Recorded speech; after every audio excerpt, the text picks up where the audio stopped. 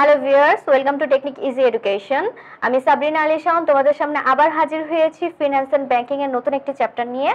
আজ আমরা আলোচনা করব দশম অধ্যায় সম্পর্কে। তো এই দশম অধ্যায়ে আমরা জানি যে দশম অধ্যায়ের মেন কনসেপ্টটা হচ্ছে বাণিজ্যিক ব্যাংক সম্পর্কে। অধ্যায়ের নামেও কিন্তু তেমন দেওয়া আছে, বাণিজ্যিক ব্যাংক ও তার পরিচিতি। তো এই বাণিজ্যিক ব্যাংক নিয়ে যখন আমরা আলোচনা করব, তখন আগে আমাদের জানতে হবে যে বাণিজ্যিক ব্যাংক জিনিসটি কি। তো বাণিজ্যিক আমরা ব্যাংকের সংজ্ঞাতে কি পড়েছি? আমরা ব্যাংকের সংজ্ঞাতে পড়েছি যে ব্যাংক একটি আর্থিক প্রতিষ্ঠান যখন জনগণের কাছ থেকে আমানত গ্রহণ করে সুদ প্রদান করে এবং ঋণদাতাদেরকে ঋণ দিয়ে ঋণের সুদ গ্রহণ করে যখন একটি ব্যবসায়িক কার্যক্রম পরিচালনা করে, তখন তাকে বলা হয় ব্যাংক। তো বাণিজ্যিক ব্যাংকের সংজ্ঞাটিও কিন্তু সেম একদম ব্যাংকের মতোই।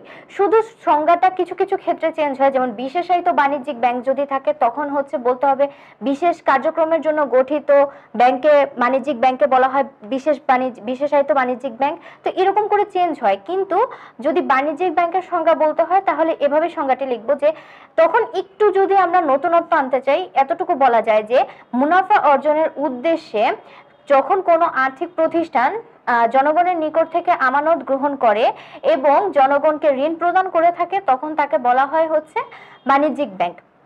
তো বাণিজ্যিক ব্যাংক ন্যাচারালি আমরা সংজ্ঞার মাধ্যমে জানতে পারছি যে বাণিজ্যিক ব্যাংকের প্রধান ফোকাসটা থাকবে মুনাফা অর্জন, কিসের মাধ্যমে থাকবে? যে আমানত আমানত গ্রহণের মাধ্যমে এবং আমানত গ্রহণ করে যে সুদটা দিবে এবং ঋণ গ্রহীতার কাছ থেকে যে সুদটা নিবে, এই দুইটার পার্থক্য হচ্ছে আমাদের বাণিজ্যিক ব্যাংকের যে মুনাফাটা হয়, সেটা হচ্ছে বাণিজ্যিক ব্যাংকের মুনাফা। তো বাণিজ্যিক ব্যাংকের মূল ফোকাসটা থাকবে যে আমানত গ্রহণ এবং ঋণ প্রদান এবং মুনাফা অর্জন।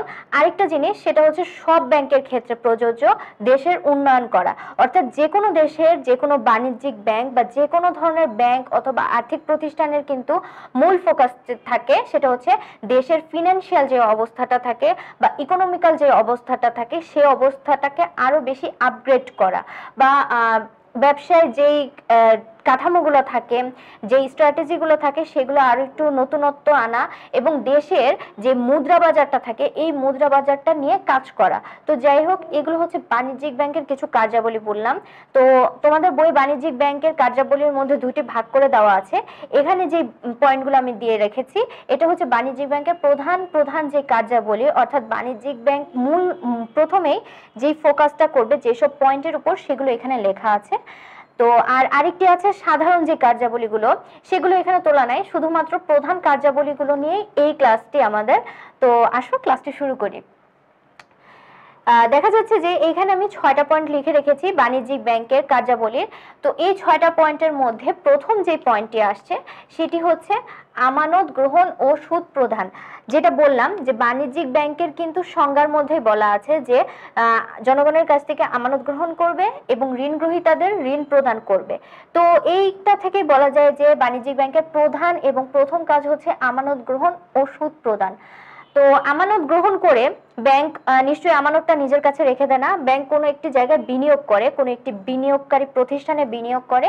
তো বিনিয়োগ করার ফলে সেখান থেকে যে সুদটা আসে, সেখান থেকে ব্যাংক কিন্তু আমানতকারীর আমানতকারীর যে চাহিদাটা আছে, সুদের যেই পরিমাণটা, সেই পরিমাণটা সে দেয় এবং ঋণ গ্রহীতাদের কাছ থেকে সে হচ্ছে ঋণ গ্রহীতাদের সে ঋণ দেয় এবং তাদের কাছ থেকে, অর্থাৎ ঋণ গ্রহীতাদের কাছ থেকে ঋণের সুদটি গ্রহণ করে এবং এইগুলোর মাধ্যমেই কিন্তু বাণিজ্যিক ব্যাংকের আয় হয়।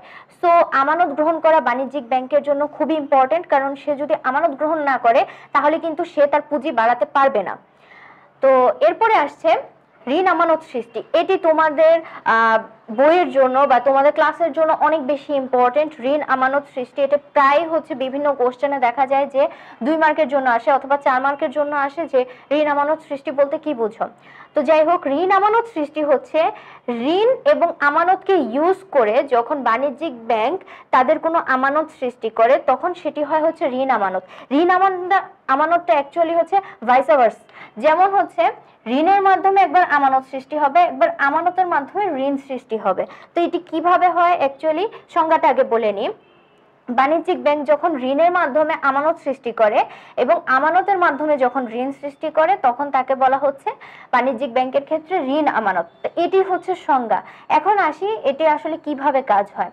যদি আমরা বলি যে আমানতের মাধ্যমে ঋণ সৃষ্টি, তাহলে এটি এভাবে হয় যে বাণিজ্যিক ব্যাংক যখন কোনো ব্যাংকে বাণিজ্যিক ব্যাংক কোনো ব্যাংকে অথবা কোনো গ্রাহককে যখন ঋণ প্রদান করে থাকে, তখন কিন্তু সে আমরা যদি অন্য কোনো পার্সনের কাছ থেকে বা কোনো ব্যক্তির কাছ থেকে যদি ঋণ নিই, তাহলে কিন্তু সে নগদে টাকাটা আমাদের কাছে দিয়ে দিতে পারে। কিন্তু বাণিজ্যিক ব্যাংক কি করে? বাণিজ্যিক ব্যাংক কিন্তু গ্রাহককে নগদে টাকাটা প্রদান করে না। কীভাবে প্রদান করে? ব্যাংক গ্রাহককে একটি অ্যাকাউন্ট খোলার মাধ্যমে, অর্থাৎ গ্রাহককে একটি অ্যাকাউন্ট খুলতে হবে। আর যদি আগে থেকে অ্যাকাউন্ট থাকে, তাহলে আর নতুন করে অ্যাকাউন্ট খোলার কোনো প্রয়োজন নেই। তো অ্যাকাউন্ট ওপেন করার পর ব্যাংক সে ঋণের পরিমাণটা সেই অ্যাকাউন্টে ফিক্সড করে, অর্থাৎ জমা করে। তো এই জমা করার পর গ্রাহক কিন্তু চেকের মাধ্যমে কিছু কিছু পরিমাণ কিন্তু সেখান থেকে ঋণ গ্রহণ করতে পারে। অর্থাৎ সেখানে কিন্তু তখন ঋণ হয়ে যায় না, সেটা কিন্তু তখন একটা আমানত হয়ে যায়। তো সেই আমানত থেকে কিন্তু ব্যাংক গ্রাহক কিছু কিছু পরিমাণ চেকে উত্তোলনের মাধ্যমে কিন্তু সেই পরিমাণটা মানে টাকার পরিমাণটা, আমানতের পরিমাণ কিছু কিছু তুলতে পারে। তো এইভাবে কি সৃষ্টি হলো? ঋণের মাধ্যমে আমানত সৃষ্টি করে ফেলল। অর্থাৎ গ্রাহক কিন্তু ঋণ চেয়েছিল, কিন্তু ঋণটা এখন তার কাছে আমানত হয়ে গেছে এবং সেখান থেকে সে খরচ করছে। তো এটার মাধ্যমে হচ্ছে ঋণ আমানত। আর আমানতের মাধ্যমে যদি ঋণ হয়, তাহলে হচ্ছে যদি কোনো বাণিজ্যিক ব্যাংকে যদি অর্থ জমা করে রাখা হয়, তখন সেখান থেকে কিন্তু বাণিজ্যিক ব্যাংক বিভিন্ন পার্সনকে কিন্তু ঋণ দিতে পারে এবং সেটি কিন্তু চেকে প্রদান করা হয়। সো এভাবে কিন্তু যখন এই চেকটি অন্য একটি ব্যাংকে গিয়ে জমা হবে, তখন সেখানেও কিন্তু আমানতের পরিমাণ বৃদ্ধি পাবে। সো এভাবেই হচ্ছে ঋণ অ্যাকচুয়ালি ঋণ আমানতের সৃষ্টিটি হয় এবং যখন এই সার্কুলার মোশনে এই কাজটি চলতে থাকে, তখন কিন্তু বাণিজ্যিক ব্যাংকের ক্ষেত্রে কিন্তু মুনাফা অর্জন হচ্ছে এবং বাণিজ্যিক ব্যাংকের কিন্তু লাভই হচ্ছে। সো ঋণ আমানত সৃষ্টিটা ব্যাংকের ক্ষেত্রে খুবই ইম্পর্টেন্ট বাণিজ্যিক ব্যাংকের কার্যাবলীর মধ্যে একটি প্রধান, অন্যতম প্রধান কার্যাবলী হিসেবে গণ্য করা হয়। আর এটি কিন্তু বাণিজ্যিক ব্যাংকে প্রায় রেগুলারলি চলতে থাকে। তো, এরপরে আসছে হচ্ছে বিনিময়ের মাধ্যম। বিনিময় মাধ্যম হিসেবে আমরা জানি যে বিনিময় মাধ্যম বিভিন্ন হতে পারে। যেমন বিনিময় মাধ্যম চেক হতে পারে। বিনিময়ের মাধ্যম হচ্ছে বিনিময় বিল হতে পারে।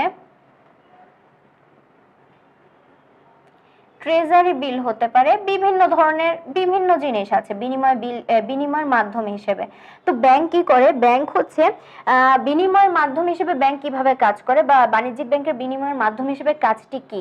বাণিজ্যিক ব্যাংক থেকে যখন কোনো চেক প্রদান করা হয়, সেটি কিন্তু একটা বিনিময়ের মাধ্যম হতে পারে। ব্যাংকে এসে যদি জমা করা হয়, তাহলে কিন্তু বাণিজ্যিক ব্যাংক চেক গ্রহণের মাধ্যমে কোনো একটি লোকের কাজটি সহজ করে দিচ্ছে, কোনো একটি গ্রাহকের কাজটি সহজ করে দিচ্ছে।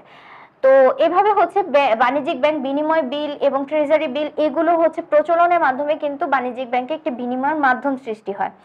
এরপরে আসি, এরপরে যে নোট ইস্যু, নোট ইস্যুর সাথে বিনিময়ের মাধ্যমে একটু মিল আছে। যেমন নোট ইস্যু, সাধারণত আমরা জানি যে শুধুমাত্র একটি দেশের কেন্দ্রীয় ব্যাংক ছাড়া অন্য কোনো ব্যাংক হচ্ছে নোট ইস্যু করতে পারে না অথবা মুদ্রা প্রচলন করতে পারে না।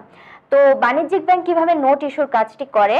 যেমন হচ্ছে বাণিজ্যিক ব্যাংক যদি, ব্যাংক থেকে যদি কখনো অর্থ উত্তোলন করতে হয়, ব্যাংক কিন্তু কখনো হচ্ছে নগদে অর্থ প্রদান করে না। ফার্স্টে চেক দেয়। তো চেক থেকে যদি উত্তোলন করা যায়, তখন কিন্তু এই চেকটি যখন অন্য একজনের কাছে, ধরো হচ্ছে আমি আমার কোনো ক্লায়েন্টকে ষাট হাজার টাকা বা এক লক্ষ টাকার কোনো একটা চেক দিব।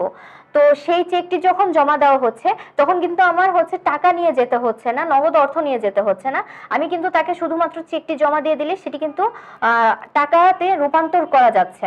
তো সে আবার তার চেকটি নিয়ে যায় কোনো ব্যাংকে কিন্তু ভাঙাবে অথবা কোনো একটি ব্যাংকে জমা করবে। তো এটার মাধ্যমে কি হলো? আমার মানে নগদ অর্থের কোনো কাজ হলো না, আবার নগদ অর্থেরই কাজ হলো। যেমন নগদ অর্থ, এটা হচ্ছে হাতে আসলো না বাট নগদ অর্থের মাধ্যমে কিন্তু আমি হচ্ছে বিজনেস ডিলিংসটা করলাম। তো এভাবেই হচ্ছে বাণিজ্যিক ব্যাংক এই যে মুদ্রার যে একটা প্রচলন হলো বা মুদ্রার আদান প্রদান হলো চেকের মাধ্যমে, তো এটাকেই হচ্ছে বাণিজ্যিক ব্যাংকের একটি কার্যাবলী অর্থাৎ নোট ইস্যুর মধ্যে বোঝানো হয়। এরপর আসছে আমদানি রপ্তানিতে সাহায্য। এটি খুবই ইম্পর্টেন্ট আমদানি রপ্তানিতে ব্যাংক একটিভাবে সাহায্য করে, সেটার নাম হচ্ছে প্রত্যয়পত্র। প্রত্যয়পত্র, যাকে ইংলিশে বলা হয় লেটার অফ ক্রেডিট। তো এই প্রত্যয় পত্রটা শর্টকাটে বলা হয় হচ্ছে এলসি।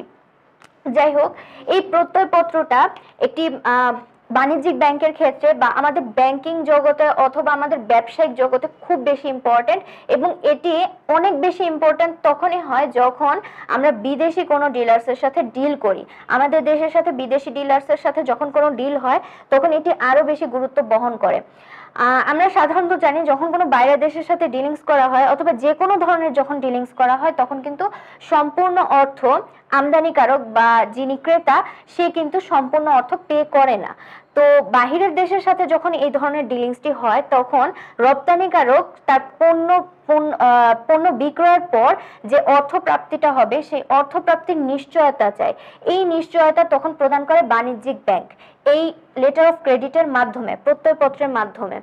এই প্রত্যয়পত্রটা হচ্ছে এমন একটা দলিল, যেই দলিলে ব্যাংক নিশ্চয়তা দিবে যে আমদানিকারক যদি তার আমদানিকারক যদি পণ্য বিক্রয়ের পর, পণ্য বিক্রয়কৃত অর্থ যদি না দেয় সরি পণ্য ক্রয়ের পর, আমদানিকারক তার পণ্য ক্রয়ের পর যদি সেই অর্থটা না দেয়, তখন ব্যাংক নিজে সে তার সেই অর্থের দায়ভার নিবে এবং ব্যাংক রপ্তানিকারককে পণ্যটি পণ্যটির যে মূল্য থাকে, সেই মূল্য সম্পর্কে বা মূল্যটা রপ্তানিকারককে দিয়ে দিবে। তো এটির এটাই হচ্ছে যেই দলিলে ই করা হয়, চুক্তি করা হয়, সেই দলিলটাকে বলা হয় হচ্ছে প্রত্যয়পত্র। তো যাই হোক, সংজ্ঞাটি যদি লিখতে হয়, তাহলে সংজ্ঞাটি আমরা এভাবে বলতে পারি যে আমদানিকারকের পক্ষে রপ্তানিকারকের অনুকূলে কোনো বাণিজ্যিক ব্যাংক বা কোনো ব্যাংক যখন একটি দলিল প্রণয়নের মাধ্যমে অর্থ প্রদানের নিশ্চয়তা প্রদান করে, তখন সেই দলিলকে বা তখন তাকে বলা হয় হচ্ছে প্রত্যয়পত্র। অর্থাৎ প্রত্যয়পত্রটা হবে আমদানিকারকের পক্ষে। আমদানিকারকের পক্ষ হয়ে ব্যাংক কিন্তু টাকাটি রপ্তানিকারককে দিয়ে দিবে এবং রপ্তানিকারকের অনুকূলে, অর্থাৎ রপ্তানিকারক তার অর্থ প্রাপ্তির নিশ্চয়তা পাচ্ছে। তো এই নিশ্চয়তা সম্পর্কে মধ্য, মধ্যস্থতা করে হচ্ছে আমাদের বাণিজ্যিক ব্যাংক সমূহ।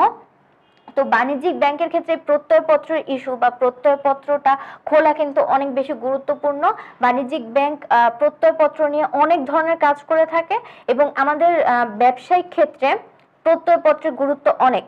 তো যাই হোক আমদানি আমদানি ও রপ্তানিতে সাহায্য করে বাণিজ্যিক ব্যাংক এই প্রত্যয়পত্র ইস্যু করার মাধ্যমে। তো এরপর আসছে মূলধন গঠন। মূলধন গঠনটা হচ্ছে বাণিজ্যিক ব্যাংকের অন্যতম একটা প্রধান কাজ।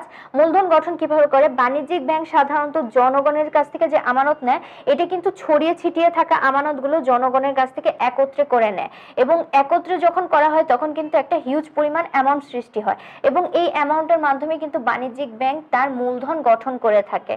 তো বাণিজ্যিক ব্যাংক আমানত গ্রহণের সাথে সাথে সাথে মূলধন গঠন করে কিন্তু এভাবেও।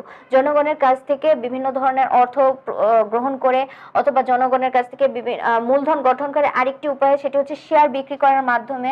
কারণ আমরা জানি কোনো এমন কোনো ব্যাংক নেই যেটি হচ্ছে একক মালিকানায় গঠিত হয় বা অংশীদারি ভিত্তিতে গঠিত হয়। ম্যাক্সিমাম ব্যাংক বা সব ধরনের ব্যাংকই বলা যায় যে যৌথ মূলধনী প্রতিষ্ঠান। কারণ আমরা সব ব্যাংকের শেষে কিন্তু লিমিটেড কথাটি দেখে থাকি। সো লিমিটেড কথাটা মানে হচ্ছে পাবলিক লিমিটেড কোম্পানি আর প্রাইভেট লিমিটেড কোম্পানি হলে পিভিটি বা প্রাইভেট লিমিটেড কথাটি উল্লেখ থাকে।